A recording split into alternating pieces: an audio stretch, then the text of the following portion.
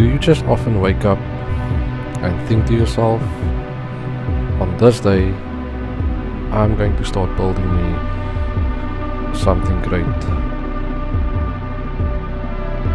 You know, it's quite often that a lot of us do not always have the funds available to build project cars the way as quickly as possible like we wanted to.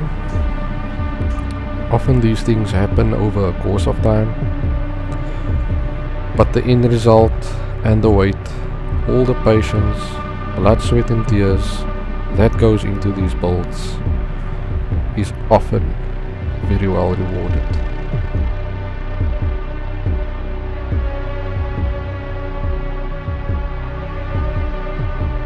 But it shouldn't be about the funds.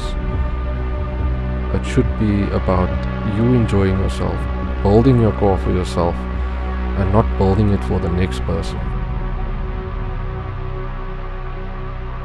The stance scene is often criticized for people claiming their cars are built just bagged suspension and wheels but a lot of times the people don't see the smaller things on these bolts.